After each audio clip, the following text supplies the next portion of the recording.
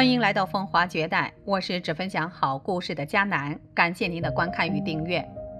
其实谢金燕藏有义子之事，在圈内早已不是秘密。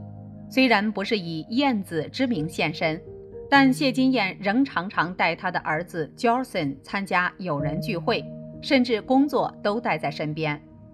谢金燕在万里海边拍戏，就曾带着当时被称为“姐姐”的小孩的 Johnson 一块工作。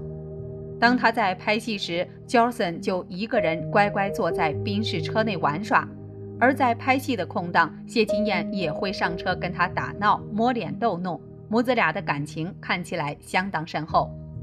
其实，谢金燕不但刻意隐瞒儿子 Johnson 的实际身世。甚至被直指为小孩生父的杨宗宪与做爷爷的杨登魁都被蒙在鼓里。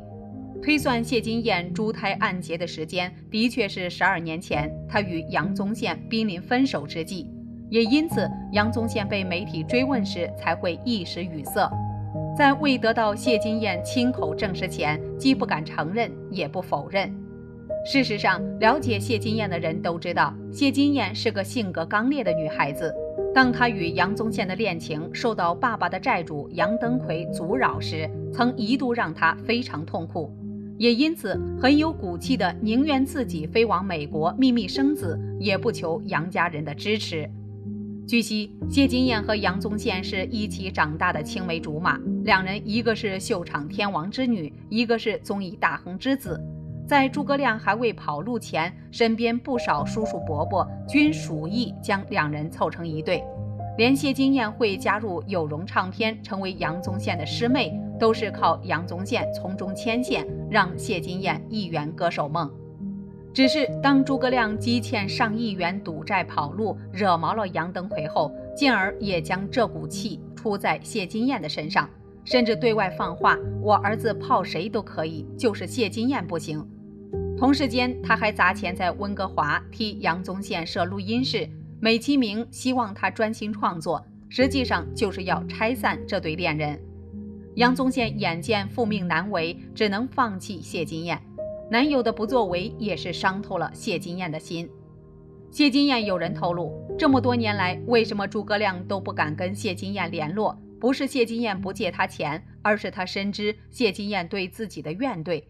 谢金燕除了从小就得不到忙于工作的父爱外，又被爸爸的赌债拖累，甚至搞到她没能给自己的小孩一个完整的家。谢金燕在事件曝光后再度躲起来疗伤，反倒是现正火红的诸葛亮意外成了女儿的发言人。他左一句杨宗宪最好，右一句亲上加亲。似乎帮谢金燕承认了杨宗宪就是孩子的爸，而杨登魁才勉强与诸葛亮演完一句握手言和的戏码后，又得加演一场认祖归宗，想必心头也闷到家了。二零一三年，在杨登魁病逝后不久，儿子杨宗宪就传出喜讯，赶在复试百日内与小他十五岁的女友小婉结婚。据了解，两人已于二零一三年四月登记结婚，双方亲友曾低调在垦丁 BBQ 聚会庆祝，未公开宴客。此前，杨宗宪曾被问是否想结婚冲喜，他表示有想过。事实上，杨登魁骤逝对杨宗宪打击很大，治丧过程很低调，未公开面对媒体。杨宗宪与女友小婉交往多年，过去还带她出席电影《大为卢曼》的庆功宴。女友姓何，一头利落短发，远看神似郭采洁。当时杨宗宪坦言，两人有考虑结婚，本想介绍女友给爸爸，可惜还没机会让他们碰面。杨宗宪处理父亲后事时，小婉都在旁关心陪伴，相处已像一家人。据了解，他们按照习俗，赶在百日内，已于四月登记结婚。有知情人透露，杨宗宪是带妈妈、岳母等家族亲戚到垦丁散心。他跟新婚妻子感情好得不得了。杨宗宪虽是歌手出身，但他更为人熟知的是与谢金燕的绯闻。两人合唱《软的最爱》《痴情一场空》等歌爆绯闻。谢金燕此前坦称未婚生子，当时盛传杨宗宪是孩子的爸，但他出面否认。自从诸葛亮复出后，围绕在谢金燕周围有关藏子的话题就没断过。至今，对于孩子生父的真实身份，外界一直都在揣测。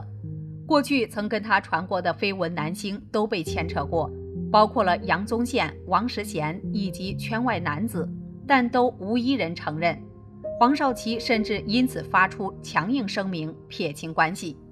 对此，诸葛亮生前的助理曾自曝内幕。他表示，当年谢金燕和杨宗宪曾经交往一段时间。该名助理坚称，小孩的生父百分之百是杨宗宪。该名助理也透露，当时谢金燕怀孕时，曾找过同父异母的哥哥谢顺福协助。据他了解，原本是要去日本生产，结果因为签证问题，最后才改去美国。至于杨宗宪为何否认，他则表示，可能杨宗宪也不知道是自己的，字字句句发言劲爆，甚至还称以上讯息谢顺福都亲口证实过。对此，谢金燕的经纪人球球表示：“我没有办法替他回答，这是他私人的事。”谢顺福被媒体询问之后，则回应：“除了谢金燕本人以外，没有人知道孩子的父亲是谁。所有人说的都只是八卦与猜测，本人不再另做任何回应。”谢谢。杨宗宪已逝的父亲杨登魁也卷入过此桩疑案，但过去他也否认对此知情。至于黄少祺，他表示自己只跟谢金燕在民事2003年第一次合作，时间点跟谢金燕儿子的年纪完全对不上，所以透过律师发出声明，不愿再被扯入生父推测的谣言。王石贤也选择不与传闻起舞，公开被媒体问及时，也选择捂起耳朵说别人的家务事真的不方便。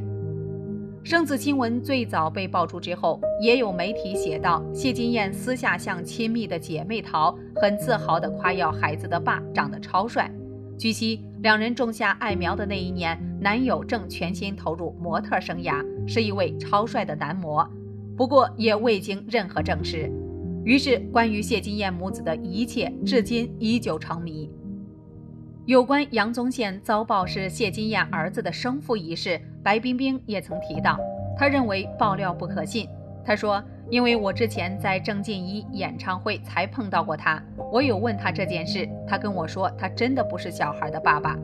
不过他也表示，重要的是孩子知不知道生父是谁。除了儿子，谢金燕也没有要向外界报告生父身份的必要。”除此之外，白冰冰还认为，无论爸爸是谁，谢金燕的儿子都有权利知道生父的身份。他要一直保密，大家也不会有意见。但是我觉得该给孩子一个交代。如果连孩子都不知道，那就有点委屈了。我比较关心的是这个。他也没听过关于谢金燕小孩生父的传言，笑说谢金燕有小孩就和爸爸诸葛亮出国深造一样神秘，都是被媒体拍到才知道。至于谢金燕的整形疑云，她的经纪人球球否认道：“唯一的是车祸时受的脸部跨越鼻梁伤口，一辈子的伤痕，一辈子得为她牵动神经去完整它。”谢谢大家关心，姐姐会跟这伤痛共体共荣一生一世。共体共荣一生一世这番极具戏剧化的用词，刚好对照时尚圈最近私下也在广为流传的消息。说谢金燕跟经纪人球球似乎有着超主仆关系，不但出入时手牵着手，球球拿着手机替谢金燕拍照时，跟前跟后替她开路引道时，一举一动脸上都满出来了过分关爱的神情。重点是球球一身不修边幅，男子力十足的穿着打扮，跟着妖娇美丽的谢金燕穿梭于各大秀场之间。看来极度反差的他们，反而激似一对女女 CP。